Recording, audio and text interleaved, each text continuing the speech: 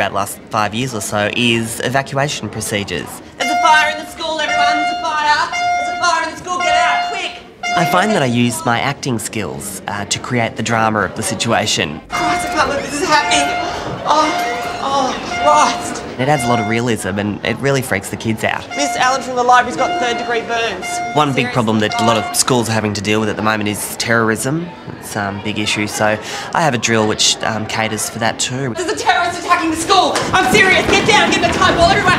And I also do what I call a random drill, which is I just spring some kind of emergency onto the kids and we see how they deal with it. God, there's a kid in the school with a gun. There's a kid Wong, get them out. There's a pedophile in the school. There's a pedophile. He's in the school. Get out. It's on the school grounds. Yes, I think a school with a, with a good evacuation procedure is, is a school that survives.